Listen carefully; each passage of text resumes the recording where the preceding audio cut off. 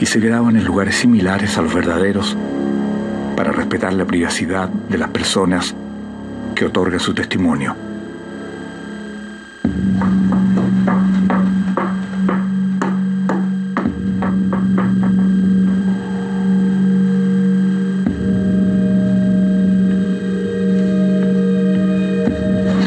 En este lugar han vivido varias generaciones una u otra manera cada una de ellas ha ido sintiendo el eco de quienes la construyeron. Por eso no se explica que durante mucho tiempo un ser extraño pulula por los recodos de este lugar sin ninguna explicación. Es una suerte de espíritu errante, pero según los dueños de turno es tranquilo e inofensivo. Y quizás haya sido la razón por la cual ha convivido su energía sin ningún problema. Pero el drama comenzó cuando este espíritu negó la presencia de personas extrañas en esta casa. Un pequeño, de cortos 10 años, compañero del hijo del dueño de casa, llegó un día y dejó caer casualmente esta pelota de tenis los escalones de la escalera la que rodó por los pasillos y llegó sin pretenderlo a los pies de este ser invisible, que a partir de ese momento se hizo la promesa de no admitir visitantes en esta casa, porque en caso contrario sentirían el horror de su presencia.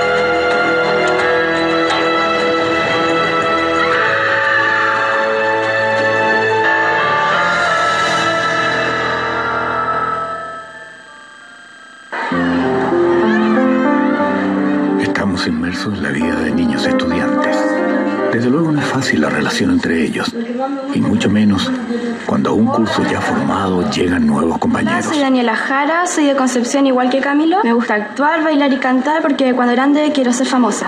Hola, Hola, soy Rodrigo Ramírez y me cambié de colegio porque estoy más cerca y lo que más me gusta es andar en bicicleta por todas partes. Hola, Rodrigo. Bueno niños, estos son sus compañeros nuevos. Espero que los acepten bien los integren y que tengan un buen trato con ellos. Chicos, vayan a sentarse porque vamos a empezar con la clase.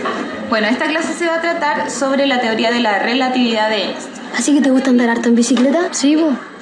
Esta historia, desde luego, está inscrita y narrada bajo la perspectiva infantil. Y en estos términos, tenemos que ponderar su relato. Por tanto, cualquier reflexión a este testimonio no puede estar exenta de situarse en el lugar de quienes vivieron esta singular y hasta aterradora experiencia. Este segundo sujeto va a tener una percepción distinta e incluso puede que no vea el mismo objeto.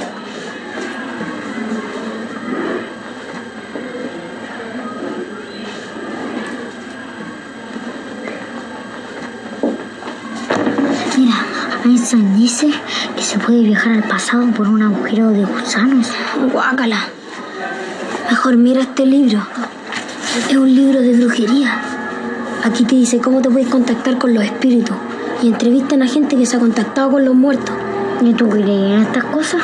Es que yo nunca lo he hecho. po. ¿Y tú? Tampoco. Cacha, aquí dice que un compadre se comunicó con su mamá muerta el día de su cumpleaños.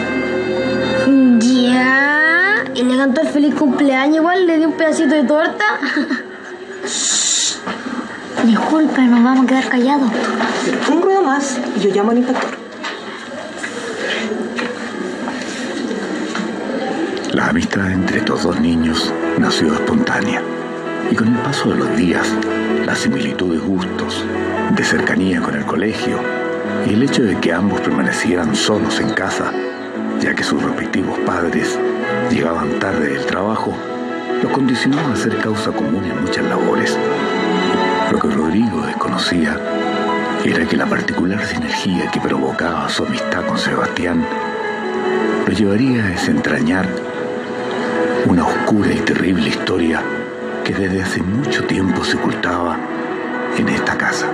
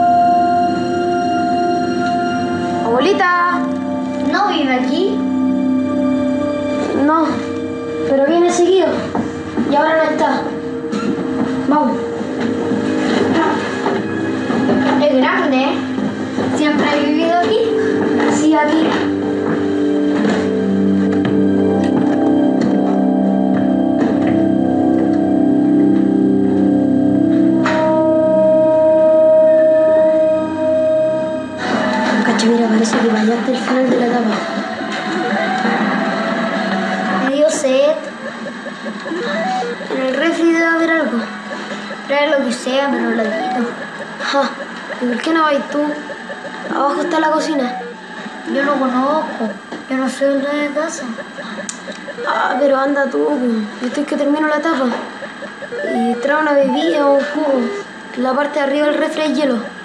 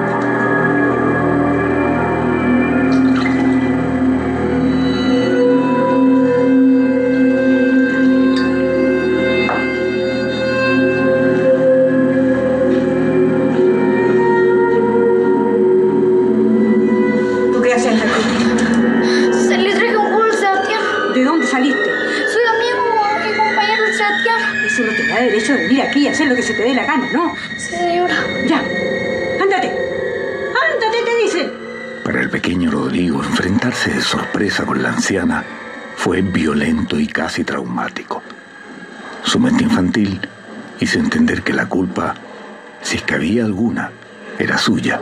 Y ese fue el motivo que lo hizo avergonzarse y omitir el episodio, pero no pudo ocultar su temor. ¿Tanto te demoraste? No encontraba los vasos. No había más jugo.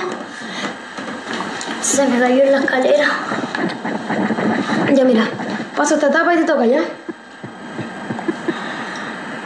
Dame el jugo.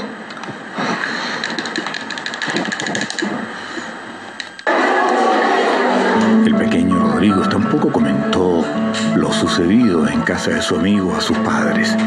A decir verdad, en su hogar como hijo único es tratado con mucho afecto y cariño. Y es primera vez que alguien, y mucho menos ajeno, le levanta la voz. Y sin duda esa fue la razón por qué le infundió temor la actitud de la abuela. Oye, ¿qué hay que hacer después de clase? No sé. ¿Querés venir para mi casa? Otro día. Ay, te voy a latear solo en tu casa. Pero ¿y si está tu abuela? ¿Se puede enojar?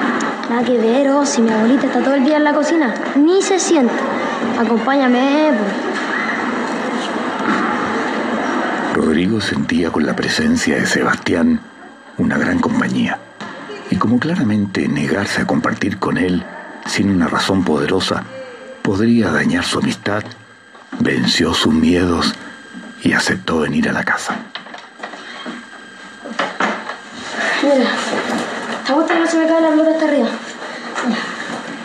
Y uno, dos, tres, cuatro, cinco, seis, siete, ocho, nueve. Se me cayó. Oye, ¿te querís pegar una mañana? Estaría bueno.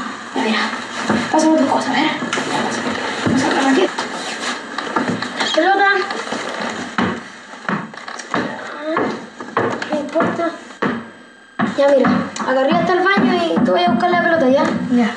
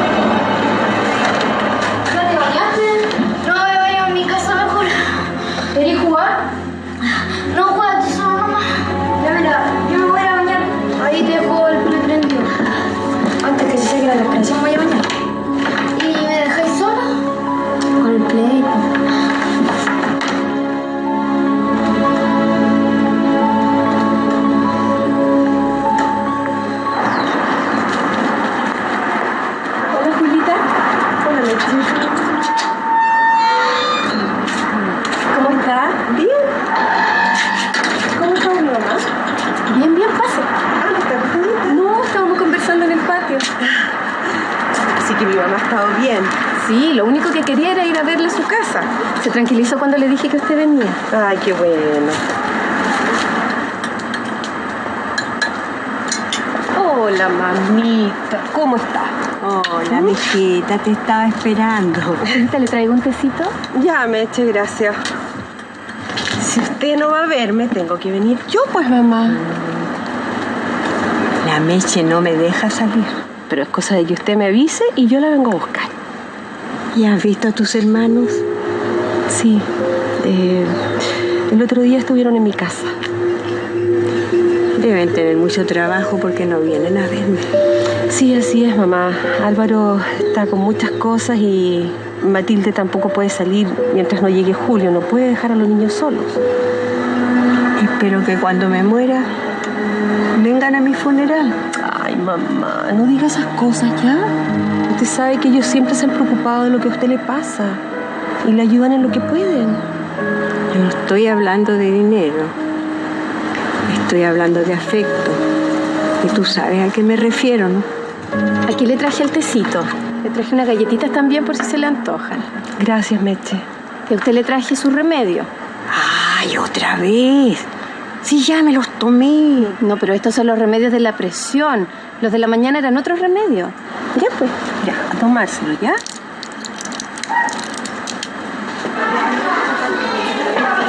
¿Cuándo nos toca de nuevo con el profe de tenis? El lunes dijo. También dijo que si pasaba cualquier cosa lo llamemos. Igual si no vas paleteamos nosotros dos nomás, pues. De más. Oye. ¿Y cómo te ves con tu abuela? Con mi abuela. ¿Por qué? No sé, se me ocurre que no la pescáis mucho. Nada que ver, pues. Si yo soy su nieto regalón. Lo que pasa es que como ella no va mucho a la casa. Pero hay buena onda. ¿Y abuela de parte de quién? De mi mamá. Oye, ¿por qué preguntáis tanto eso? No, pues nada. Es que mi abuela es súper enojona. Pero si eso es normal en las personas, pues mira, las personas cuando se ponen viejas se ponen amargadas. Y que hay que hacerlas, no hay que pescar. ¿Te voy a comer eso? ¿No? ¿Me lo vais? Sí, Gracias.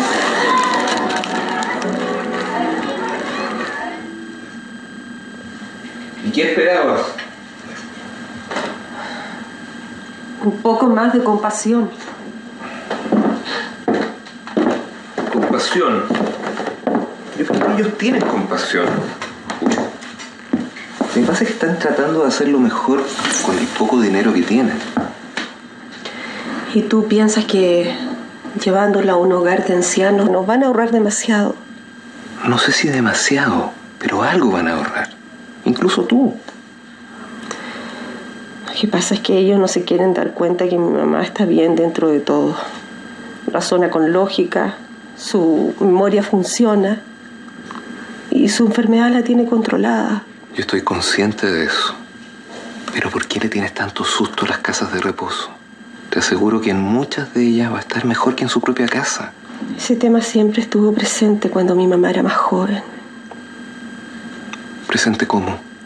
Ella siempre nos pidió que nunca la votáramos a un hogar de ancianos. Nos hizo prometer que cumpliríamos ese deseo. Ella quiere morir en su casa. A ese acuerdo llegaron. Sí. Y eso es lo que me molesta, que se hayan olvidado. Y sobre todo Álvaro.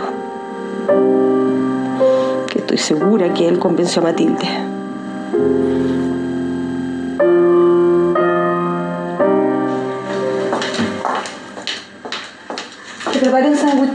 ¿Me echaste tu mochila? Sí. Oiga, ¿me puede dar plata para comprarme una bebidita? ¿Ya te gastaste lo que te dio tu papá? Ay, no me diga nada, si la hizo durar todo el mes.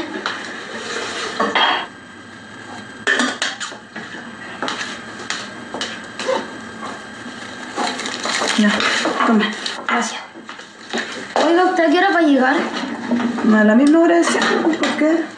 Lo que pasa es que podría haber invitado a mi abuela para que me cocine unos panqueques. Ya, sí, pues ella vendría encantada. Lo que pasa es que la abuelita está media delicada de salud ahora. Y cuando anda así se pone mal genio, como irritable.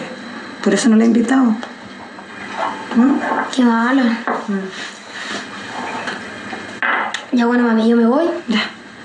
Apúrese que estamos atrasados. Oye, cuidado al cruzar la calle, mirar para la izquierda, para la derecha, ¿ya? Ay, sí, ya, Como chao. siempre.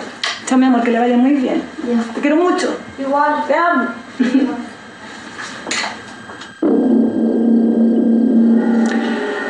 Siempre hemos cooperado los tres. Por lo tanto, la decisión también va a ser de los tres. Pero ella nunca ha querido sacar a la mamá de la casa. Y su opinión no va a cambiar. Pero si tú estás de acuerdo, somos mayoría. Y ella va a tener que acatar.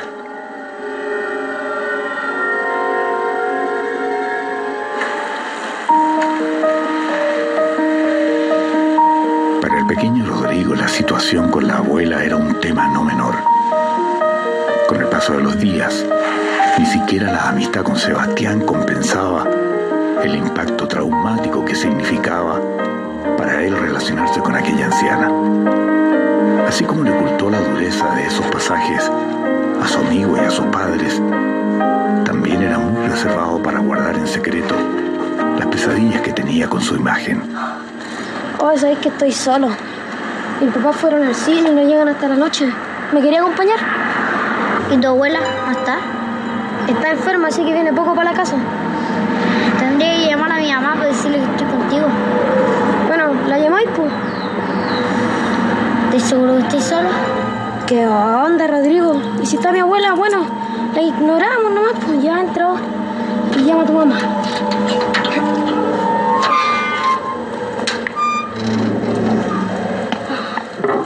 ¿Se va tú ya?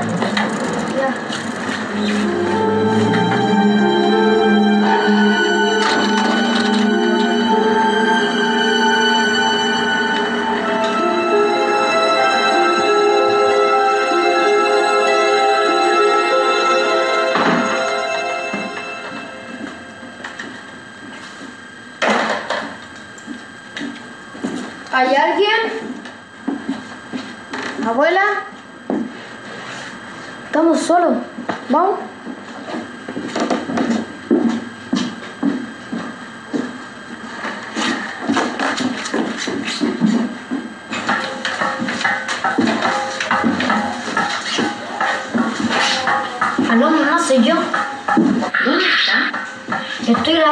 La base del SEA. Ya, ¿qué hora va a llegar? Por eso te estoy llamando. Me voy a quedar un ratito acompañándolo. Sus papás fueron al cine. Se va a quedar acá. ¿Quién habla? El SEA que me está invitando a quedarnos a dormir. Ah, no sé. Ya, mamá, si mañana es sábado. Bueno, ya. Gracias, mamita linda. Besitos, chao. ¿Y? ¿Te dio permiso? Sí. ¿Deja jugar un rato? Dale. Oye, ¿y quería algo para comer? Bueno, yo voy por una cosa.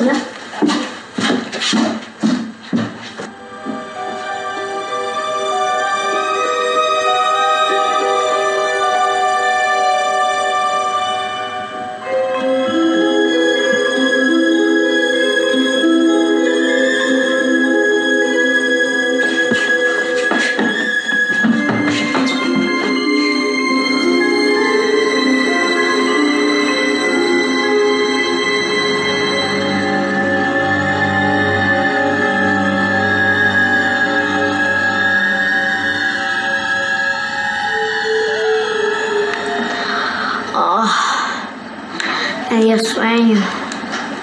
Sé que parece que mis papás pasaron para otro lado. ¿Cuál es mi cama? Me voy a acostar. ¿Tu piso está al frente? Ya, chao. Chao. Ah, espera, espera. Ando a buscar la linterna que está en el cajón para encontrar el pelador y encender la lámpara.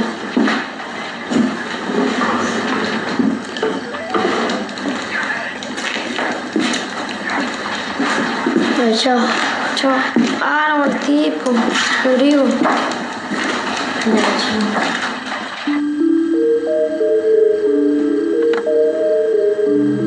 Rodrigo fue vencido por el sueño tempranamente y en la certeza de que estaban solos, aceptó ir a dormir a la pieza de enfrente. Pero este es el momento donde su mente infantil fue invadida por el miedo y la inseguridad.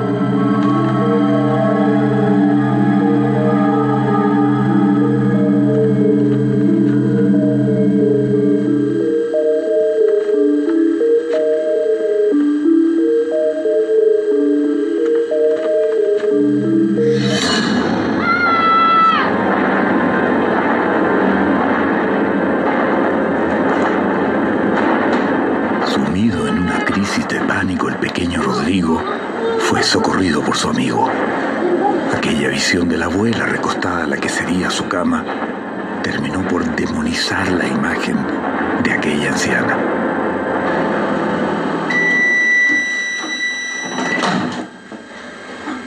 Tú debiste haberlo acompañado a la pieza, pues hijo. Toma, toma lechecita. Pero si yo le pasé una linterna. Mi amor, lo que tú viste es producto de tu imaginación. Y estaba ahí. Rodrigo, ahí no había nadie. Dice que vio a la abuela y la abuela ni siquiera ha venido. Si eso es verdad, la abuela no ha venido porque la abuela está enferma. Mira, Rodrigo, vamos a hacer una cosa, ¿ya? Vamos a subir a la pieza para que tú veas que ahí no hay nadie. No, quiero irme a mi casa. No te preocupes, yo llamé a tu mamá, así que ella debe estar por llegar. ¿m? Eso, tómese la leche, se lo va a hacer bien.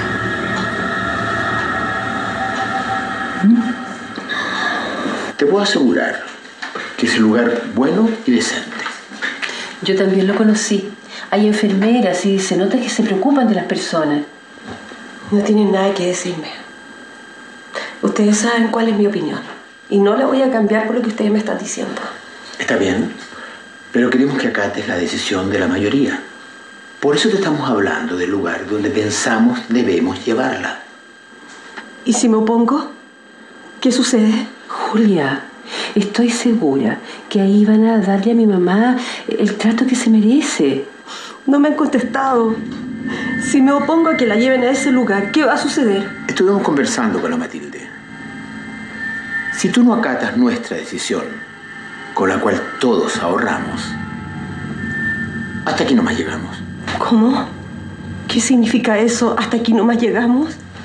Que tú te quedas a cargo de nuestra madre. A nosotros no nos alcanza.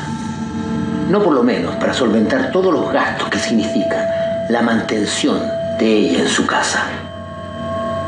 Ustedes no saben lo que significa para ella dejar la casa de toda su vida. ¿No se acuerdan cuando nos pidió a los tres que nunca la sacáramos de ahí? Y que su único deseo era morir en su casa. Esos son sentimientos baratos. Todas las madres cuando son jóvenes piensan de la misma manera. Es más, yo creo que ni siquiera se acuerda de eso. Yo no comparto esa, esa decisión y no quiero estar presente cuando se lo comunique. Yo se lo digo. ¿Cuál es el problema? Bueno, niños, ya saben la materia que entra mañana en la prueba. Hasta mañana. Con aquella experiencia, Rodrigo estaba absolutamente choqueado. Sobre todo entendiendo racionalmente que lo sucedido habría sido obra de su imaginación. En otras palabras, el problema con aquellas visiones no estaba en la casa, sino en él.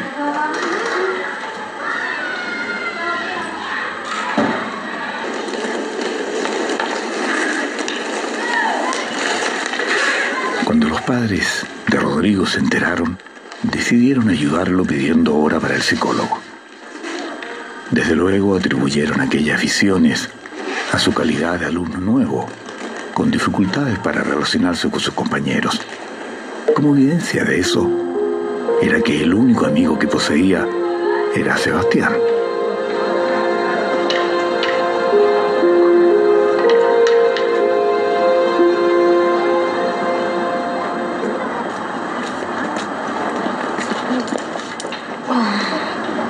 Pues es que la profe se fue al chancho.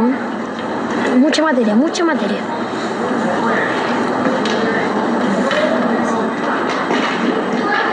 Podríamos estudiar juntos. Tú decís, no es mala idea. Lo único malo es que esta noche hay fiesta en mi casa. ¿Fiesta?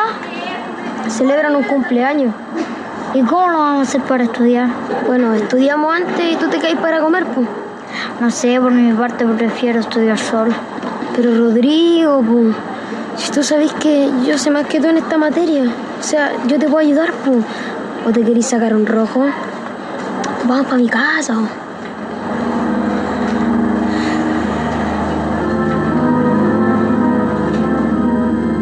Sebastián tenía especial afecto por Rodrigo y desde luego a menudo lo ayudaba en sus obligaciones escolares. Razón suficiente para que, ante esta posibilidad de estudiar que lo beneficiaba directamente, no se negara. A regañadientes y en razón que habría más personas en la casa debido a la fiesta, una vez más fue víctima de los argumentos de su amigo y aceptó.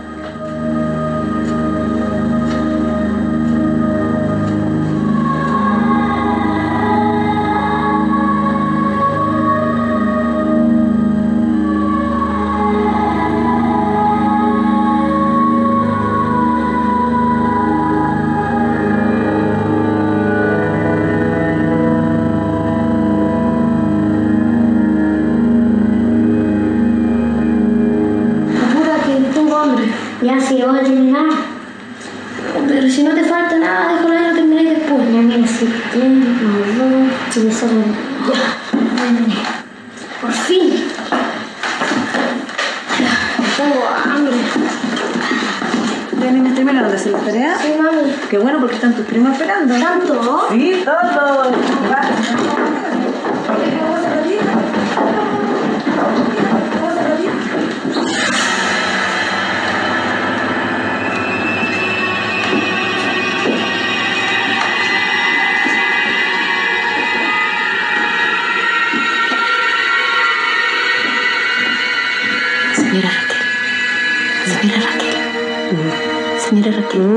Su hijo la viene a ver.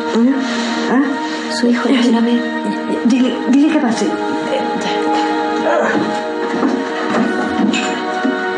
Así, don Álvaro.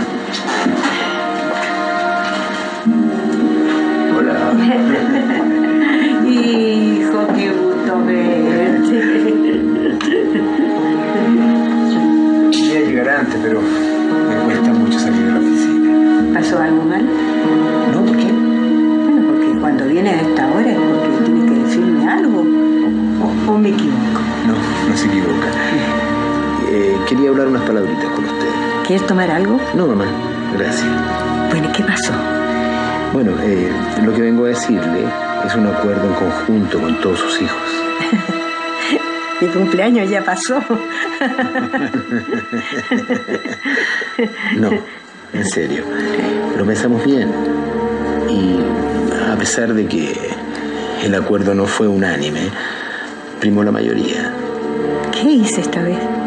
Mamá, usted sabe todo lo que cuesta mantener esta casa. Pero por supuesto. Bueno, sacamos cuentas y resolvimos que con menos dinero usted puede recibir una mejor y oportuna atención. ¿De qué hablas? Le hemos estado buscando una casa de atención al adulto mayor. Conocimos y es un lugar precioso. Hay enfermeras, hay gente de su edad. Va a poder hacer nuevas amistades. Y nosotros podremos ir a visitarla todos los fines de semana. Esto es idea tuya, Álvaro. Lo que tú quieres es quedarte con esta casa, ¿verdad? Mamá, ¿cómo se le ocurre? Ándate. Ándate. Mamá, Ándate, te dice. mamá, allá va a estar mucho mejor que acá. Ándate, por favor, ándate.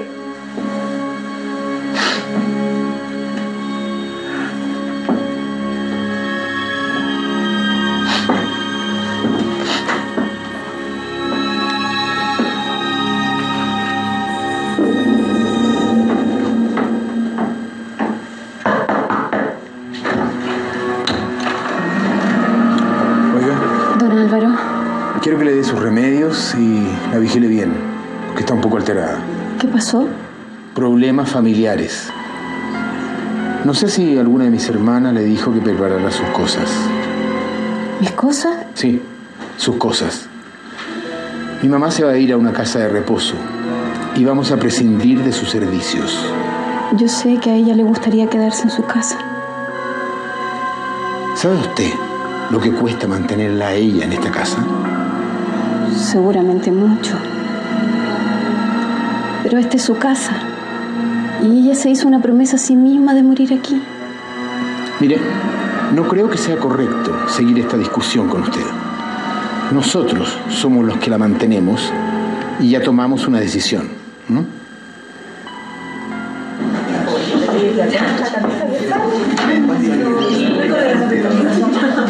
Ya, chiquillos, shh, ahora vamos a guardar silencio, ¿ya? Cuando baje la abuelita vamos a aplaudir todos juntos. Y cuando prendamos la velita le vamos a cantar el cumpleaños feliz, ¿ya? Pero ahora, shh, silencio. ¿Este que era el cumpleaños de tu abuela?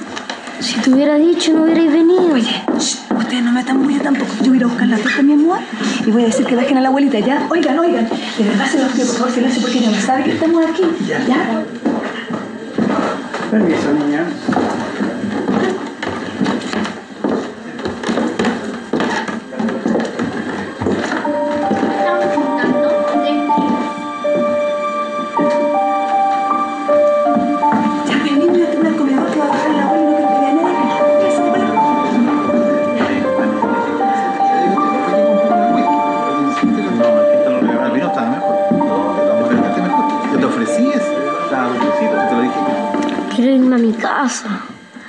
Si no te va a pasar nada, ¿no? Además que cuando conozcas a la abuela, te vas a dar cuenta que es súper simpática. Así ahora. Venga, venga. shh, venga, venga, venga. Shh, Ya estamos listos. Fueron a buscar a la abuelita, ¿ya? Tú te apagas la luz y a buscar la torta.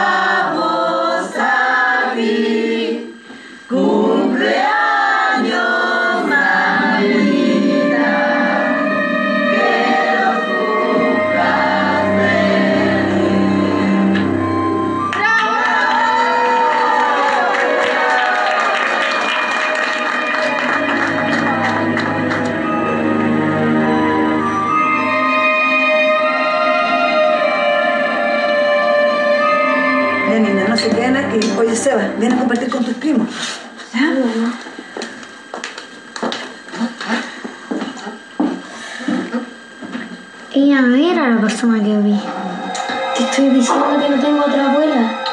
Entonces, ¿quién era? Rodrigo, yo creo que tú estás teniendo visiones.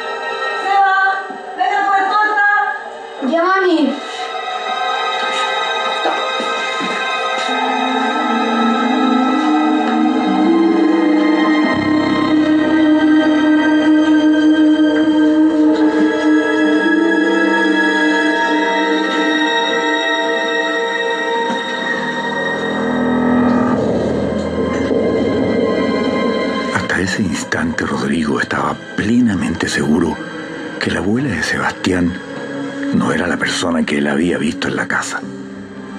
Ante esa problemática que le trastocaba su mente de niño, sintió la urgencia de buscar una explicación, de modo de no sentir que se estaba volviendo loco.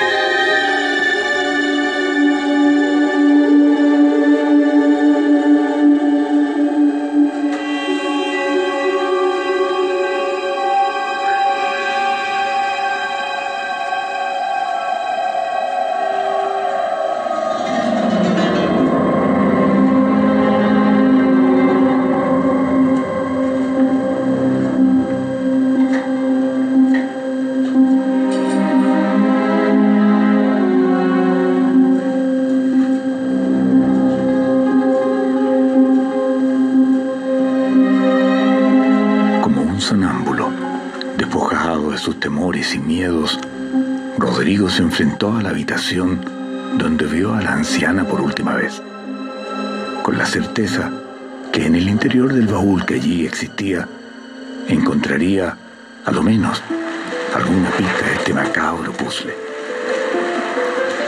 Luego de aquella noche de fiesta en casa de Sebastián, Rodrigo faltó a clases y a la prueba para la cual se habían preparado. Este niño intuía que su amigo estaba en problemas y por eso apenas terminó su jornada escolar, acudió raudo a encontrarse con él. Rodrigo lo habría llamado para una cita importante, donde le contaría no solo lo fuerte de la experiencia que había vivido en su casa, sino todo lo que habría descubierto. Para este efecto, lo esperó en la iglesia cercana al colegio.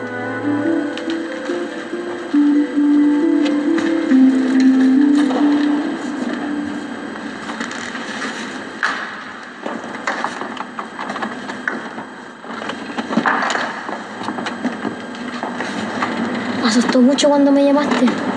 No fuiste a dar la prueba. No pude estudiar. ¿Le contaste a tus papás? No. Pero, ¿qué te pasa? ¿Por qué estás acá? Anoche, cuando me quedé solo en la cocina, fui al dormitorio, donde la vi. ¿Subiste? ¿Y para qué? No sé por qué. ¿La viste de nuevo? No, pero Abrí el baúl y saqué unas fotos hasta que la encontré. ¿De qué estáis hablando?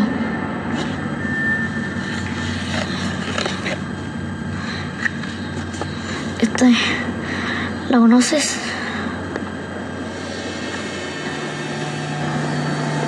Es primera vez que la veo.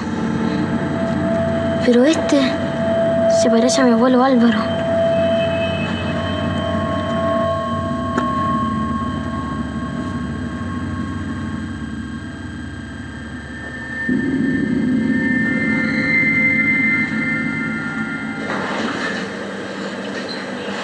Ella era tu bisabuela.